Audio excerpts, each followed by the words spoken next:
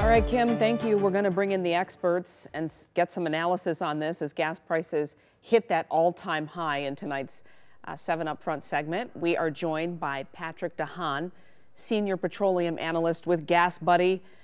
Patrick, we just hit that new national record, and top of everyone's mind is how much longer will these prices continue to rise?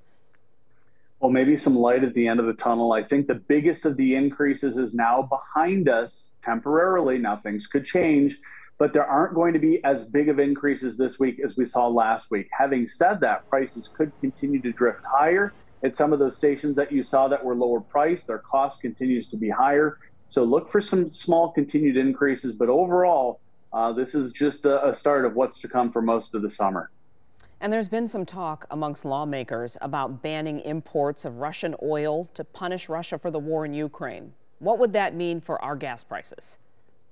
It probably wouldn't do a whole lot uh, in terms of U.S. gas prices. Uh, the U.S. imports and has imported oil and oil products from Russia. The real point of contention that could cause oil prices to rise more dramatically is if the EU, the European Union, sanctions Russia's energy. They receive over four and a half million barrels a day from Russia, and that could cause our prices to go up dramatically if they do sanction Russia. Well, we've heard a lot of numbers thrown around, like five to six dollars a gallon by spring. What do you think of that? Is it possible?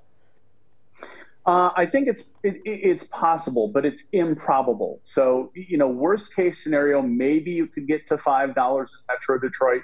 I don't foresee that. It's not in the pipeline yet. That could change down the road if there's more escalations. Uh, but just a sign of, of really nothing's impossible. But again, at this point, $5 improbable this spring. And is this renewing the call to speed up access to electric vehicles and chargers and get this going in our society? Mm-hmm.